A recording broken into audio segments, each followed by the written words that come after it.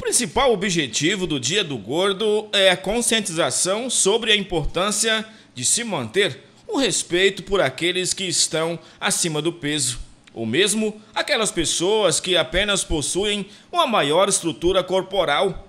Como sabemos, a obesidade pode ser prejudicial à saúde.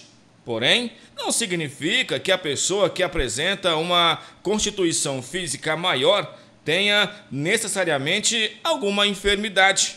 Afinal, existem pessoas magras que convivem com diversos problemas de saúde e nem por isso são vistas com desprezo. Pode-se dizer que essa visão de mundo de preconceito acontece em parte por estímulo da indústria da moda e das grandes marcas, que exibem em seus desfiles modelos magérrimas e assim muitas vezes com problemas alimentares graves, como anorexia e bulimia.